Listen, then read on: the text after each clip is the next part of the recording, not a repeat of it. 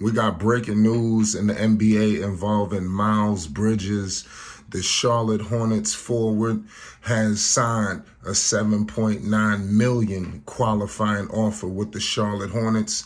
Miles Bridges has the intentions of becoming an unrestricted free agent next summer. And I'm pretty sure this is a prove it deal here. We're going to figure out the ramifications of this situation, but the Miles Bridges news has finally come to bed. This was an unbelievable situation.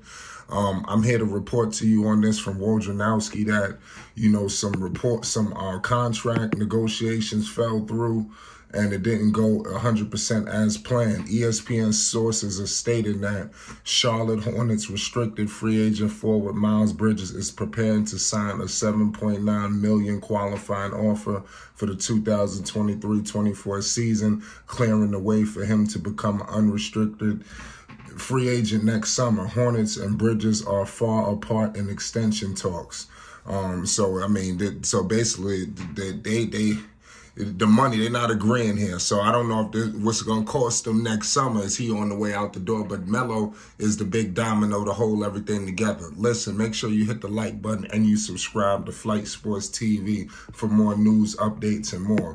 But this Miles Bridges situation is unbelievable. I guess. we should hear next what's going on with PJ Washington because, um, like I said, LaMelo was the big domino that just fell.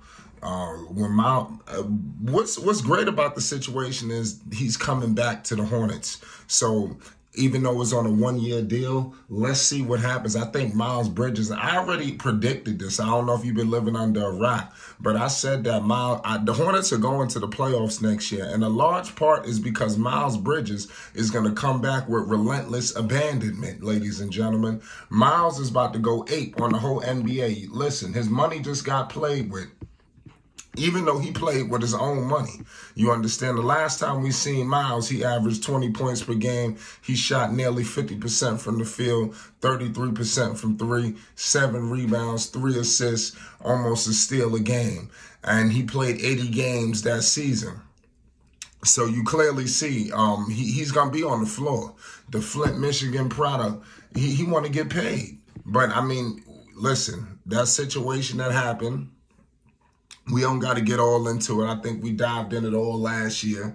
It, it, was a mess for him, and he's still suffering the consequences of making that poor decision. But nonetheless, Miles Bridges is back with with LaMelo Ball, and that that's really what's most important here. You know, um, he's back in the Queen City. Um, Bridges still have to prepare. He's gonna miss some games. We all know that he's not coming back immediately, so be on the lookout for that as well. Miles Bridges got to miss, I believe, the uh, the part like is ten games remaining of that thirty game suspension for that for that situation that took place. So let's see if we can put this all to bed.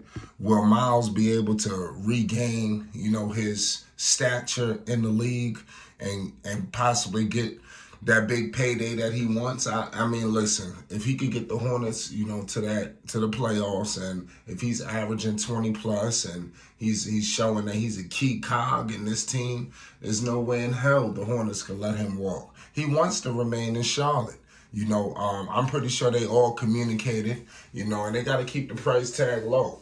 I, does, is PJ about to get the deal now? Because now they should have some money on the table. They didn't. They didn't get Miles. I thought they was gonna have to pay Miles somewhere of a hundred plus million right now, but they probably just negated that to another season. But we we've seen this in the past where situations like this took place where they didn't get the deal and um, they took the qualifying offer and that pretty much spelled their doom. You've seen that with Gordon Hayward. Gordon Hayward is on this roster. Um, I believe a similar situation took place in Utah. And then when he got the restricted free agency, Gordon Hayward, he, he made sure he walked. So you don't know. But I mean, hopefully Miles is more lenient, understanding his situation is unique. You know, he's lucky to still be in the league. A lot of people are not even happy that he's coming back. But this is being reported that Miles Bridges is returning. And this is an unbelievable situation for Miles. Um, and, and LaMelo Ball, like I said, it's time for the Hornets to get back to winning. And we all want to see the Hornets win at the end of the day. Nobody wants to see the Hornets um, continue to fail and things of that nature. It's time for them to get back into the thick of things in the Eastern Conference. We got to understand prior to all of the debacles that took place, the, the Charlotte Hornets was right there playing in that playing scenario. How can they regain their position and if not further? Number one, you must have Miles back in, in the trenches. If Miles isn't back, that that's a whole nother dynamic. You know, um, that's a big time loss if Miles isn't there. But this is it. This is a huge play. This is for NBA free agency, ladies and gentlemen. Fireworks is happening all over the board. Um, I've been patiently waiting to see what was goes on with this basketball team with the Charlotte Hornets because they had two huge dominoes that needed to fall. And knowing Hornets history, they're not known for an organization that put a whole bunch of money on the table. You know, obviously LaMelo, they got backed into a corner. They had to pay him. There's no way they could have lost Melo. I mean, for nothing. It would have been seriously like devastating if they did that. But nonetheless, Miles Bridges has signed that qualifying offer, you know, and I think that this is one step closer to them them you know getting back in getting back in position. Now it's about how long. How's he gonna gel with this new basketball team? But after 12 months of unknowns and speculation, there's finally some clarity here. Like I repeat, Bridges is reportedly signing a qualifying offer for 7.9, keeping him in Charlotte for one year. So we don't know what happens. I'm telling you, I repeat, they are far apart in extension talks. Far apart. So we don't know with new ownership coming back. We don't know what this means, you know. Uh, but something something is brewing here with Miles. You know, he's a great player. Hopefully, he can get back in position. You know, um, and we can get back to celebrating his basketball instead of his off the floor antics and things of that nature. That connection, that Airbnb connection, is coming back. Miles will be back in training camp but it's good. It's good to hear this, man. It's good. It's good to see this. That he'll be back on the floor. Now it's all about what's his future. But I want to hope that this this won't affect nothing because it's not like they just did this to him out of nowhere. I mean, you went through a crazy situation. You couldn't expect to get the big bag right now, and I'm pretty sure all of the people that was out there, like all of the stuff that was out there, it wasn't lucrative to the point where he felt like he deserved. It's best to just go on a one year prove it after all of these things you just went through.